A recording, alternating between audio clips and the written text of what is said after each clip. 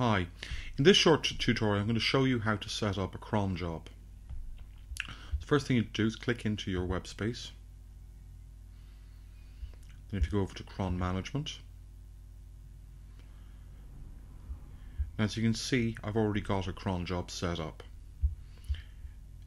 Okay, so what I'm going to do is I'm going to create a new one. What we're going to do is create a duplicate one. So the first thing you need to do is tell us what the command is.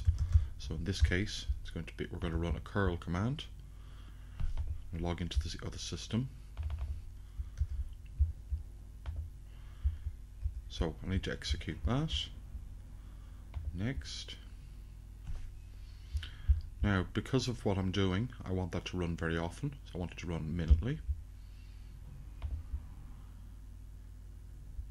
So how many how many minutes in between? So let's say let's make it every three minutes.